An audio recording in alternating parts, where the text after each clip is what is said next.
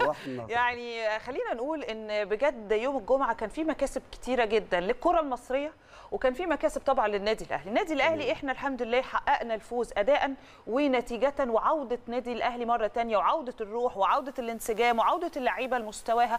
كل ده مكسب مكسب كمان طبعا لكولر كمدير فني جديد. الصعيد الآخر لما نيجي نقول مكسب للكرة المصرية أو مكسب لمصر إحنا شفنا بجد أداء محترم من جماهير الأهلي والزمالك شفنا لقطات حلوة منها لقطة مؤمن زكريا. آه، شفنا كل آه، آه، احترام ما بين اللعيبة إلى حد كبير. يعني خلينا نبدأ من النقطة دي قبل ما نخش لتفاصيل المباراة. أنا لقيت كان مشهد يقول فعلا إن الكرة المصرية بقت بخير.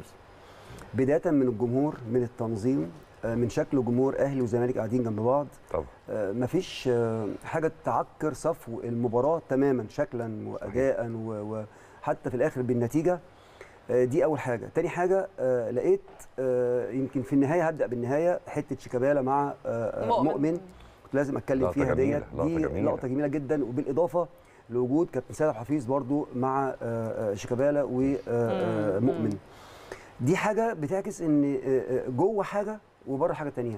يعني أنا ممكن يبقى ليا أصدقاء في نادي الزمالك بعد ما بخلص مباراتي معاهم وأبقى ماتش سخن جدا وسواء النتيجة بالسلب أو بالإيجاب. أه بخلص. خلاص بعد ما المباراة منتهيه إحنا بقينا أصحاب وأصدقاء. ودي حاجة. انتهت دي اللي إحنا افتقدناها الفترة اللي فاتت دي أنا يا كريم آه، آه، آه، بين الجماهير وبين بعضها. بقينا ندخل في حتت مش بتاعتنا كمصريين ولا واوجاد. الضغينة.